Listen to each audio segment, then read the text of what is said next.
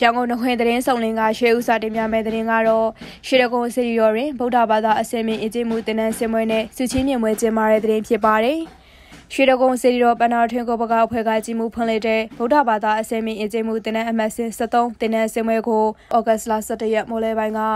စီရီတော်ရင်မြင့်အရှိဘက်ရှိရေကြီးတော်ဝိအသင်းဆောင်မှာကျင်းပရလို့သိရပါတယ်။ ရွှေဦးစွာနမောဒလသုံးညရွဆိုဖျားကတော်ရဲ့အခမ်းအနားကိုဖွင့်လှစ်ပြီးရွှေရကုံစေတော်ပနာထေခောဘကအဖွဲ့အလဲကျတဘာပတိဦးလာမြင့်ကတင်နန်းပြီးမြအောင်မြင်မှုဝဲမြောက်စကားကို၎င်းတင်နန်းဤပြမဟာတရမစောရီကတဆဆရာကြီးဦးဟန်ကတင်နန်းသေးကြပြည်စည်းမှုနဲ့ပတ်သက်ပြီး၎င်းပြောကြားပါရယ်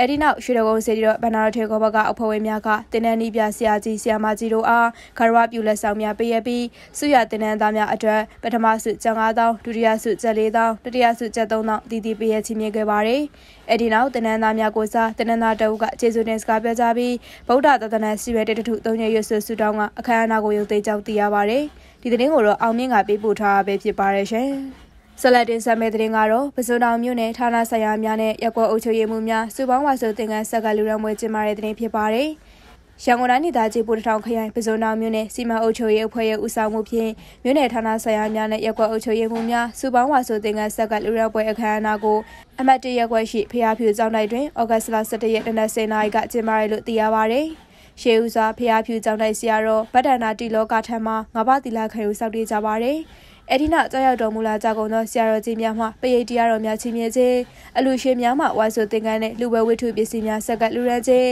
နိုင်ငံတော်တန်ခါနာယကအဖွဲ့ဒရိဖက်အကျတော်ဆောင်ဆရာတော်ပတ္တနာပညာတစားထံမှရေစက်ချအနုမောဒနာတရားနာယူကြရလို့သိရပါတယ်ဒီသတင်းကိုတော့ဟိုင်စုရင်ကပြပို့ထားပဲဖြစ်ပါတယ်ရှင်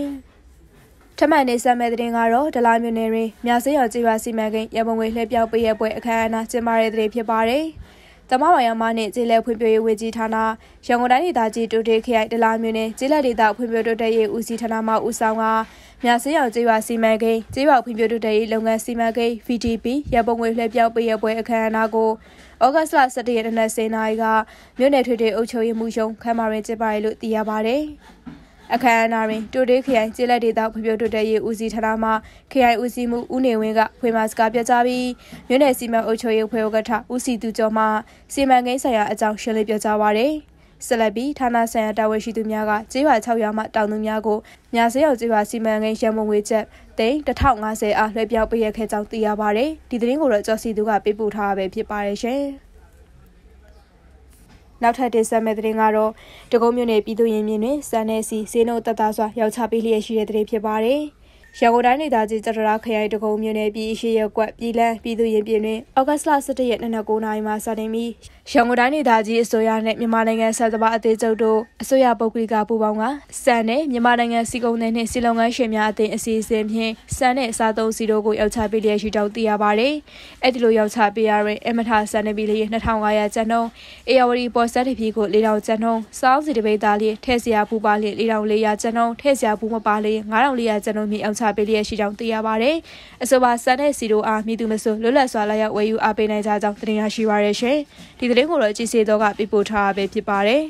။နောက်ဆုံးနေဆက်မဲ့တဲ့ကတော့အခြေခံပညာဆရာဆရာမများအတွက်ရှေးဥပြုစုခြင်းနှင်းပြတဲ့စင်မွေကျင်းပတဲ့တဲ့ဖြစ်ပါတယ်။ မြန်မာနိုင်ငံကြက်ချီနီအသင်းနဲ့ဂျာမနီနိုင်ငံကြက်ချီနီအသင်းတို့ပူးပေါင်းဖွဲ့လှစ်ခဲ့သောအခြေခံပညာဆရာဆရာမများအတွက်ရှေးဦးပြုစုခြင်းဤပြတင်နန်းစင်မဲကိုဩဂတ်လ10ရက်နေ့ပိုင်းကအသင်းရန်ကုန်ရုံးခွဲတွင်ကျင်းပခဲ့ရာအသင်းဥက္ကဋ္ဌပါမောက္ခဒေါက်တာမျိုးညွတ်တယောက်မှစကားပြောကြားရလို့သိရပါဗျ။ဆက်လက်ပြီးတိုင်းဒေသကြီးကြက်ချီနီကြီးကြပ်မှုကော်မတီဥက္ကဋ္ဌဒေါက်တာစောထေးတိုင်းဒေသကြီးပညာရေးမှူးရုံးမှဒုတိယညွှန်ကြားရေးမှူးပညာဦးစိန်ဝင်းနဲ့ဂျာမနီနိုင်ငံကြက်ချီနီအသင်းမှမစ္စတာဖီမာဆွီနီတို့ကနှုတ်ခိုးဆက်စကားပြောကြားခဲ့ပြီးတင်နန်းထူးကျွန်းစုများနဲ့တင်နန်းစီလက်မှတ်များကိုပေးရခဲ့ပါတယ်။အဆိုပါတင်နန်းစင်ပွဲသို့အသင်းဥက္ကဋ္ဌဒုတိယဥက္ကဋ္ဌနဲ့အလုံအမှုဆောင်များတိုင်းဒေသကြီးပညာရေးမှူးမှတာဝန်ရှိသူများတင်နန်းသားတင်နန်းသူဆရာဆရာမများတက်ရောက်ကြပါတယ်။ဩဂတ်စ်လ3ရက်နေ့မှဩဂတ်စ်လ10ရက်နေ့အထိပြုလုပ်ခဲ့တဲ့အဆိုပါတင်နန်းသို့ရန်ကုန်တိုင်းဒေသကြီးမြို့နယ်9မြို့နယ်ရှိအခြေခံပညာကျောင်းများမှဆရာဆရာမ30ဦးတက်ရောက်ခဲ့ကြရလို့သိရပါတယ်။ဒီသတင်းကိုတော့အောင်မြင့်ကပေးပို့ထားတာပဲဖြစ်ပါတယ်ရှင်။